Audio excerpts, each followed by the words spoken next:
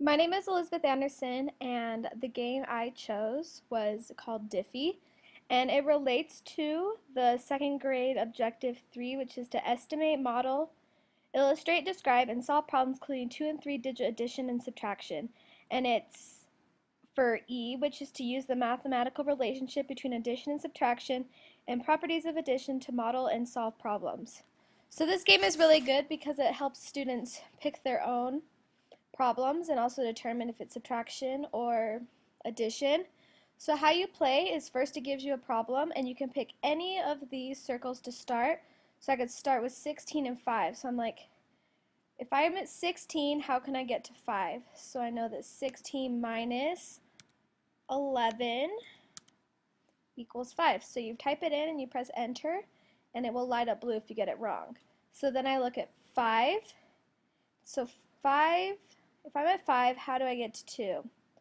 So if I click that I think it's 4, then I press enter, it's going to tell me it's wrong. And then I know 5 minus 3 equals 2. And then you do the same with this. So 2 plus what equals 10? So I do 8. And then 10 plus what equals 16? And then that, you just keep going and you go all the way through until you have finished your whole puzzle.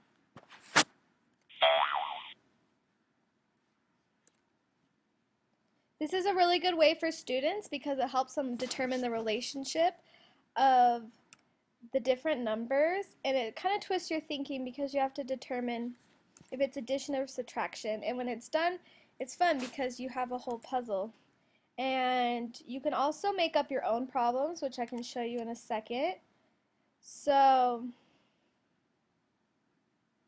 you press new problem or create problem. So if you create problem, you get to type in your own numbers.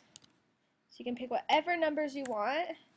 And this is where you can do like two digit numbers and that also helps them and it's just a good way for students.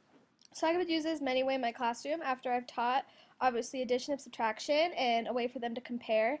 I would have them use this game to analyze it. And also, I think it's a good way for fast finishers when they're done that they can start working on this game because it helps them with their thinking and to also develop their numerical sense. So this is a really good game and I suggest all to use it.